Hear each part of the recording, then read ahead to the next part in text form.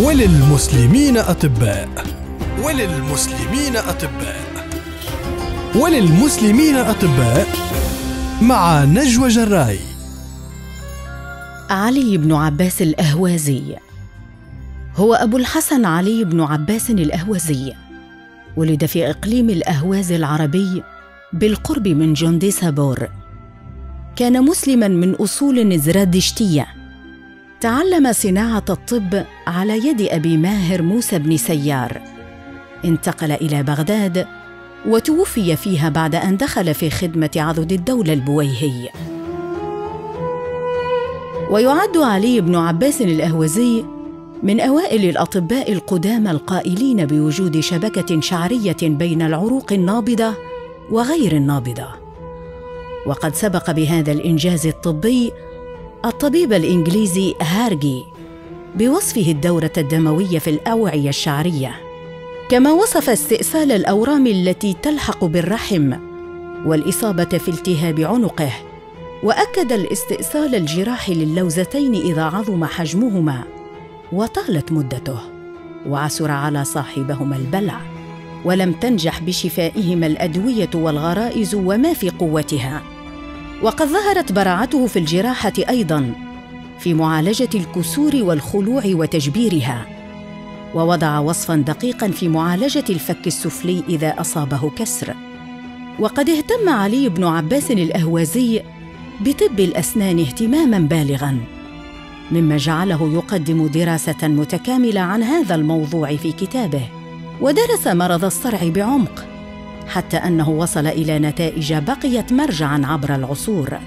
تنبه علي بن عباس الأهوزي إلى صعوبة شفاء الرئة المصابة بالسل وقال بصدد ذلك إن السبب الذي من أجله لا يشفى السل الرئوي هو أن الرئة دائمة الحركة لا تلتحم لكثرة حركتها وهزها وإزعاج السعال لها لأن العضو المتقرح يحتاج إلى أن يكون هادئا ساكنا حتى تلتحم قرحته.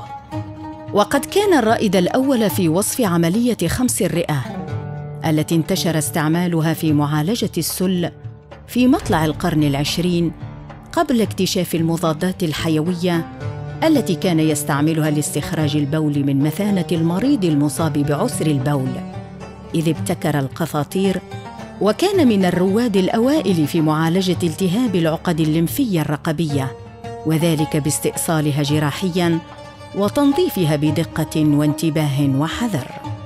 اشتهر ابن عباس الأهوزي بكتابه المسمى كامل الصناعة الطبية الضرورية والمشهور باسم الكتاب الملكي.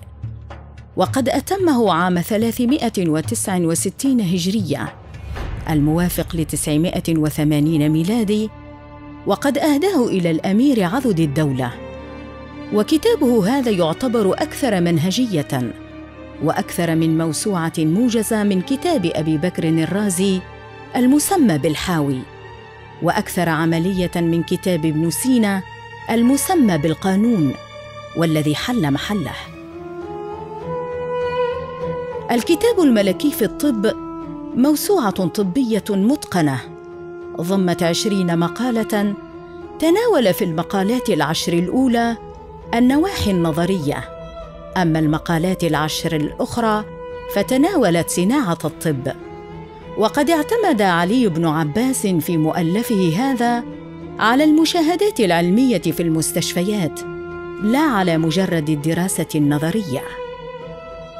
أما فيما يتعلق بأخلاق الطبيب وتعامله مع مرضاه قال علي بن عباس الأهوزي ينبغي للطبيب أن يكون طاهرا ذكيا دينا مراقبا لله عز وجل رقيق اللسان محمود الطريقة متباعدا عن كل نجس ودنس وفجور والا يفشي للمرضى سرا ولا يطلع عليه قريبا أو بعيدا فإن كثيرا من المرضى يعرض لهم أمراض يكتمونها عن آبائهم وأهاليهم ويفشونها للطبيب.